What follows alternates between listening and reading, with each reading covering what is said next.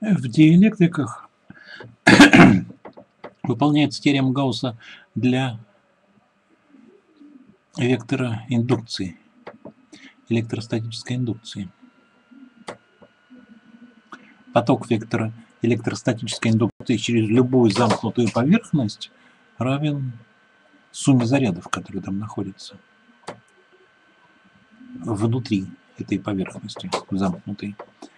Если мы рассмотрим два полупространства, заполненные диэлектриками, с относительными диэлектрическими проницаемостями эпсилон-1, эпсилон-2, и выберем поверхность интегрирования в виде цилиндра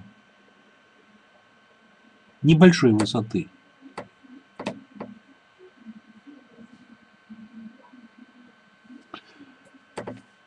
с площадью основания S, то, пользуясь тем, что у нас внутри, на границе раздела, зарядов никаких нет, речь идет о свободных зарядах. Свободные заряды. В теореме Гаусса для диэлектриков. Сумма зарядов равна нулю, находящихся внутри этого цилиндра.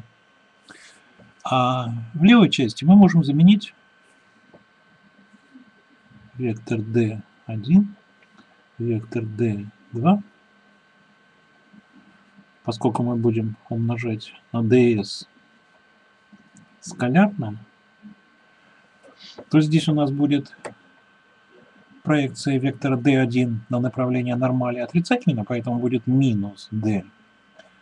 Нормальное 1 умножить на, ой, извиняюсь, здесь ds, конечно, на ds, а здесь будет положительная проекция d2 на направление нормали, поэтому будет плюс dn2 на ds.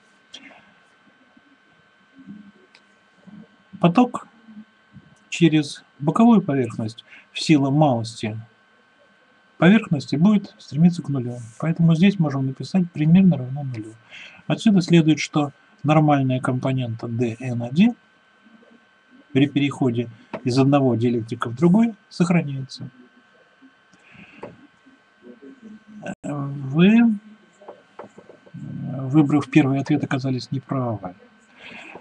Под окном плеера находится ссылка. Вам надо пройти в тест по этой ссылке и нажать кнопку «Готово», не вводя никакого ответа.